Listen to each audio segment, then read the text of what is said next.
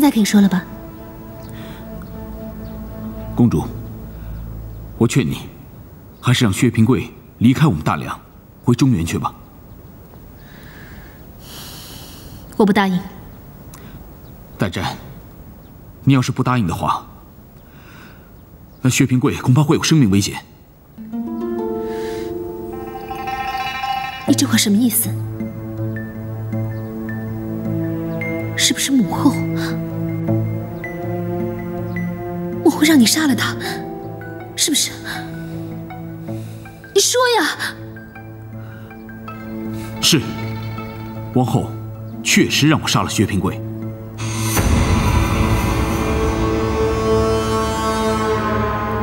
你做不到的。你是一个光明正大的汉子，绝对不会做出这样趁人之危的事情。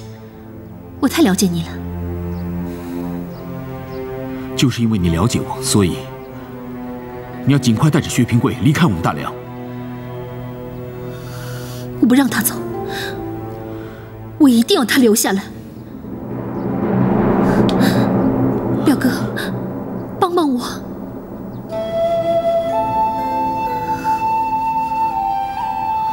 代战，那我问你，我们的婚事呢？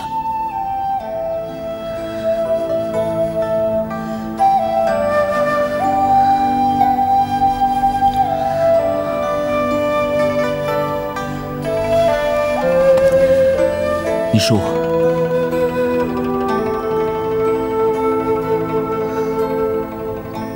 表哥，从小到大，我一直敬仰你，崇拜你。你做的每一件事情，都是我们的榜样。你是这么优秀，这么完美，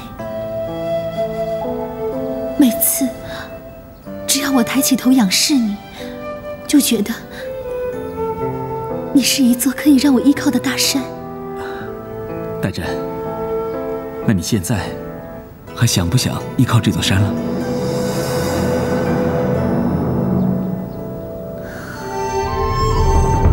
这座山一直在保护着我，照顾着我，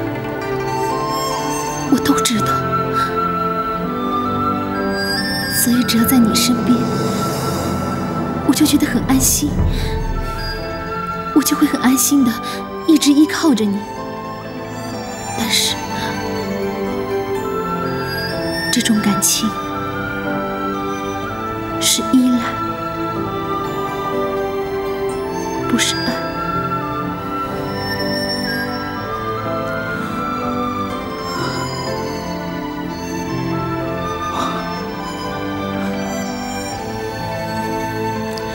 我真没想到，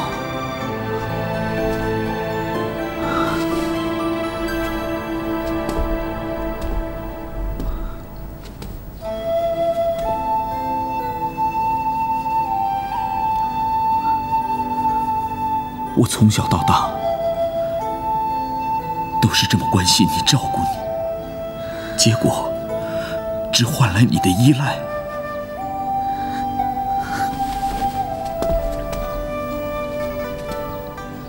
在这个世上，你像我的哥哥，像我的家人，我一直很敬仰你。可是，可是你太完美了，就是因为你的完美，让我有距离感，有生疏感。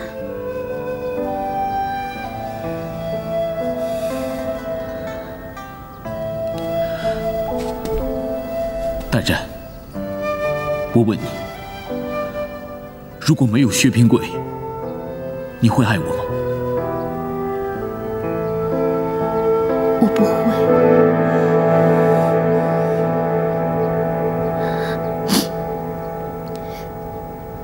你知道的，父王和母后，他们一直把你当成最理想的继承人，从小到大。他们都希望我能嫁给你，可是我，我从来没有这样想过。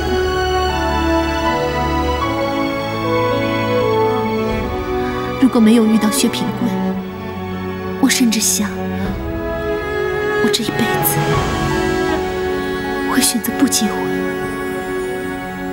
因为在大梁找不到第二个比你更优秀的人。是偏偏我自己，从来没有一丝一毫想要跟你厮守一辈子的念头。